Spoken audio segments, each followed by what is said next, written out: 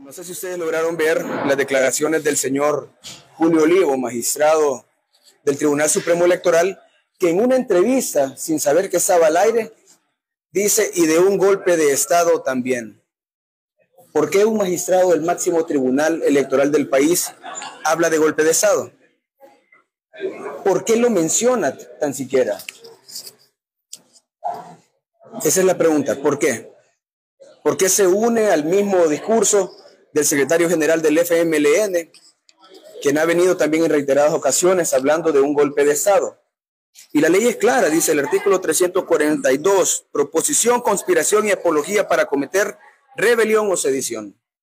Al final dice, si el autor fuere funcionario o empleado público, agente de autoridad o autoridad pública, se le importará además una inhabilitación absoluta del cargo o empleo por el mismo término.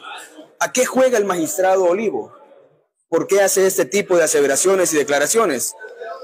Espero de verdad que, que todas las organizaciones que están defendiendo la democracia y la comunidad internacional tomen nota de esas declaraciones que son muy preocupantes viniendo de un tribunal, de un magistrado del Tribunal Supremo Electoral.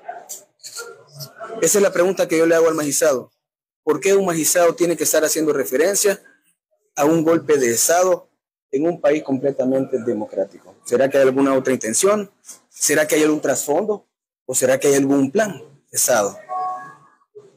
Esa es la pregunta que nos tendrá que responder el señor magistrado en los siguientes días.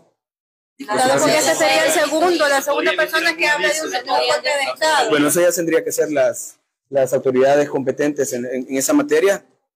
A nosotros solo nos toca estar al tanto de lo que está pasando y para mí es una condena rotunda a las palabras del señor magistrado.